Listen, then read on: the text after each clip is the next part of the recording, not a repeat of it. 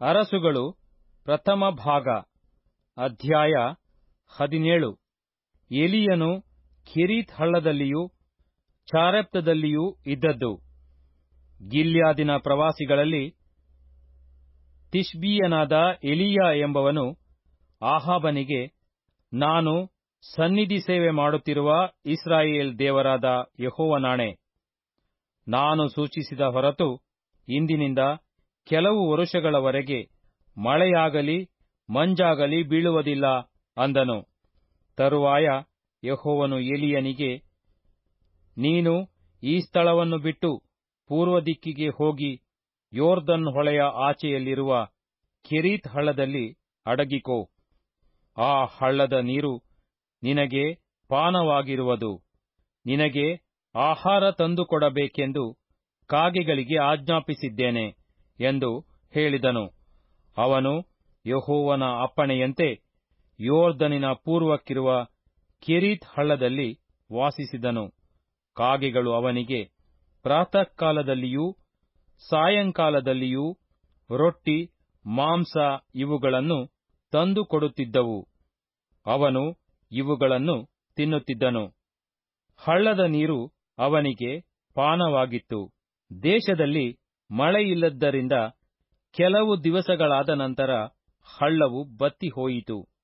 ಆಗ ಯಹೋವನು ಅವನಿಗೆ, ನೀನು ಇಲ್ಲಿಂದ ಚೀದೋನ್ಯರ ಚಾರೆಪ್ತ ಊರಿಗೆ ಹೊರಟು ಹೋಗಿ ಅಲ್ಲಿ ವಾಸಿಸು. ನಿನ್ನನ್ನು ಸಾಕಬೇಕೆಂದು ಅಲ್ಲಿನ ಒಬ್ಬ ವಿಧವೆಗೆ ಆಜ್ಞಾಪಿಸಿದ್ದೇನೆ ಅಂದನು.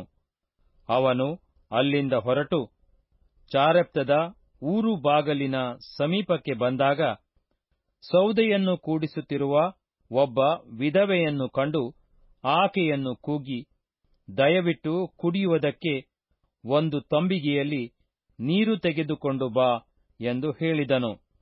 ಆಕೆಯು ಹೋಗುತ್ತಿರುವಾಗ ತಿರುಗಿ ಆಕೆಯನ್ನು ಕರೆದು, ನೀನು ಬರುವಾಗ ನನಗೋಸ್ಕರ ಒಂದು ತುಂಡು ರೊಟ್ಟಿಯನ್ನು ತೆಗೆದುಕೊಂಡು ಬಾ ಅಂದನು.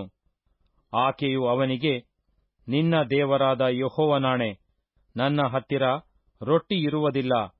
ಮಡಿಕೆಯಲ್ಲಿ ಒಂದು ಹಿಡಿ ಹಿಟ್ಟು, ಮೊಗೆಯಲ್ಲಿ ಸ್ವಲ್ಪ ಎಣ್ಣೆ, ಇವುಗಳ ಹೊರತಾಗಿ ಬೇರೇನೂ ಇರುವುದಿಲ್ಲ. ಈಗ ಎರಡು ಕಟ್ಟಿಗೆಗಳನ್ನು ಹೆಕ್ಕಿ, ನನಗೋಸ್ಕರವೂ, ನನ್ನ ಮಗನಿಗೋಸ್ಕರವೂ ರೊಟ್ಟಿ ಮಾಡುತ್ತೇನೆ. ಅದನ್ನು ತಿಂದ ಮೇಲೆ ನಾವು ಸಾಯಬೇಕೇ ಹೊರತು ಬೇರೆ ಗತಿಯಿಲ್ಲ ಎಂದು ಉತ್ತರ ಕೊಟ್ಟಳು. ಆಗ ಎಲಿಯನು ಆಕೆಗೆ, ಹೆದರಬೇಡ, ನೀನು ಹೇಳಿದಂತೆ ಮಾಡು. ಆದರೆ ಮೊದಲು ಅದರಿಂದ ನನಗೋಸ್ಕರ ಒಂದು ಚಿಕ್ಕ ರೊಟ್ಟಿಯನ್ನು ಮಾಡಿಕೊಂಡು ಬಾ. ತರುವಾಯ ನಿನಗೂ ನಿನ್ನ ಮಗನಿಗೂ ಮಾಡಿಕೋ. ಇಸ್ರಾಯೇಲ್ ದೇವರಾದ ಯೋಹೋವನು ನಿನಗೆ ನಾನು ದೇಶಕ್ಕೆ ಮಳೆಯನ್ನು ಕಳುಹಿಸುವವರೆಗೆ ನಿನ್ನ ಮಡಿಕೆಯಲ್ಲಿರುವ ಹಿಟ್ಟು ತೀರುವುದಿಲ್ಲ, ಮೊಗೆಯಲ್ಲಿರುವ ಎಣ್ಣೆಯೂ ಮುಗಿದು ಹೋಗುವುದಿಲ್ಲ ಎಂದು ಹೇಳುತ್ತಾನೆ ಅಂದನು. ಆಕೆಯು ಹೋಗಿ ಅವನು ಹೇಳಿದಂತೆಯೇ ಮಾಡಿದಳು. ಆಕೆಯು ಆಕೆಯ ಮನೆಯವರು, ಎಲಿಯನು ಅದನ್ನು ಅನೇಕ ದಿವಸಗಳವರೆಗೆ ಊಟ ಮಾಡಿದರು ಯಹೋವನು ಎಲಿಯನ ಮುಖಾಂತರವಾಗಿ ಹೇಳಿದಂತೆ ಮಡಕೆಯಲ್ಲಿದ್ದ ಹಿಟ್ಟು ತೀರಲಿಲ್ಲ. ಮೊಗೆಯಲ್ಲಿದ್ದ ಎಣ್ಣೆಯು ಮುಗಿದು ಹೋಗಲಿಲ್ಲ. ಕೆಲವು ದಿನಗಳಾದ ನಂತರ ಮನೆಯ ಯಜಮಾನಿಯಾದ ಆ ಸ್ತ್ರೀಯ ಮಗನು ಅಸ್ವಸ್ಥನಾದನು. ಹುಡುಗನಿಗೆ ರೋಗವು ಹೆಚ್ಚಾದದರಿಂದ ಉಸಿರಾಡುವುದು ನಿಂತು ಹೋಯಿತು ಆಗ ಆ ಸ್ತ್ರೀಯು ಎಲಿಯನಿಗೆ, ದೇವರ ಮನುಷ್ಯನೇ, ನನ್ನ ಗೊಡವೆ ನಿನಗೇಕೆ?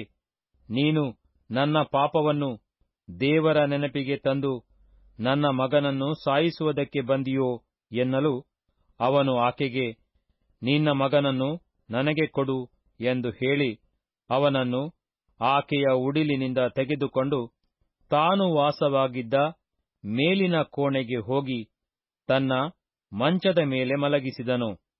ಅನಂತರ ಅವನು, ಯಹೋವನಿಗೆ, ನನ್ನ ದೇವರಾದ ಯಹೋವನೇ, ನನಗೆ ಸ್ಥಳಕೊಟ್ಟು ಈ ವಿಧವೆಯ ಮಗನನ್ನು ನೀನು ಸಾಯಿಸಿ ಆಕೆಗೂ ಕೇಡನ್ನುಂಟು ಮಾಡಿದ್ದೇನು ಎಂದು ಹೇಳಿ ಹುಡುಗನ ಮೇಲೆ ಮೂರು ಸಾರಿ ಬೋರ್ಲ ಬಿದ್ದು, ನನ್ನ ದೇವರಾದ ಯಹೋವನೇ, ಈ ಹುಡುಗನ ಪ್ರಾಣವು ತಿರುಗಿ ಬರುವಂತೆ ಮಾಡು ಎಂಬುದಾಗಿ ಆತನಿಗೆ ಮೊರೆಯಿಟ್ಟನು. ಯಹೋವನು ಅವನ ಪ್ರಾರ್ಥನೆಯನ್ನು ಕೇಳಿದದರಿಂದ ಹುಡುಗನ ಪ್ರಾಣವು ತಿರುಗಿ ಬಂದು ಅವನು ಉಜ್ಜೀವಿಸಿದನು.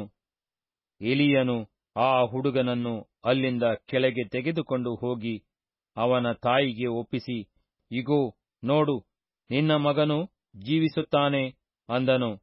ಆಗ ಆಕೆಯು ಅವನಿಗೆ, ನೀನು ದೇವರ ಮನುಷ್ಯನೆಂದು, ನಿನ್ನ ಬಾಯಿಯಿಂದ ಬಂದ ಯಹೋವನ ಮಾತು ಸತ್ಯವೆಂದು ಈಗ ನನಗೆ ಗೊತ್ತಾಯಿತು ಎಂದು ಹೇಳಿದಳು.